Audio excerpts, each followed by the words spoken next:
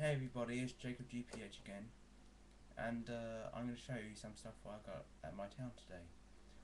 Uh, see my video of um, one Lego Hero Factory 2.0 uh, eh, they're out in the UK now. Uh, it was um, Mark Surge 2.0, and uh, I got all the villains today, and uh, announce all of them, I think there's it's obvious that I think there's going to be more sets of these coming out also.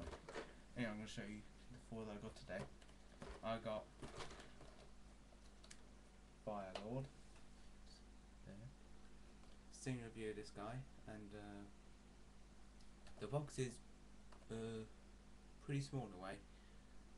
It's not the same shape as the uh, other Lego Hero Factory boxes. Uh, uh, yeah, looks pretty slim there, and uh, I like ones the like on Nebula is is a bit bigger or thicker.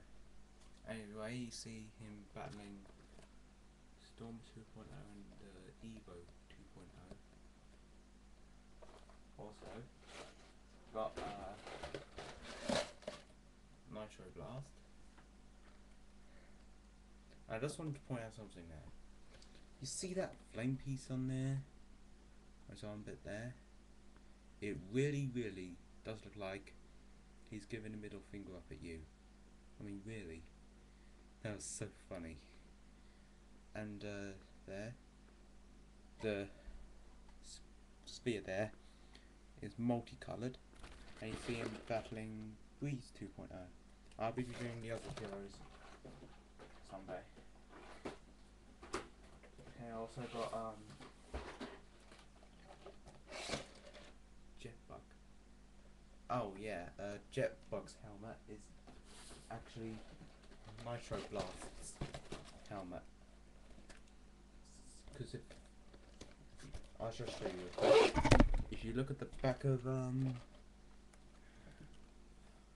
Nitro Blast helmet, you see Jetbug's helmet. If you look at the back of uh, Jetbug's helmet, you see Nitro Blast helmet. That's pretty weird. Anyway, you can see him battling Inferno 2.0. Yeah, these guys are pretty scary. Oh, what's really cool is that he has a clear plate. That's really awesome. And the final one, which I think is probably my favourite, Drill Dozer. Now he's pretty scary too. I think he might be the scariest, or might be Fire Lord. Anyway, his face is really scary. Oh yeah, speaking of Fire Lord, uh, on I seen a video of uh, uh, Fire Lord and him.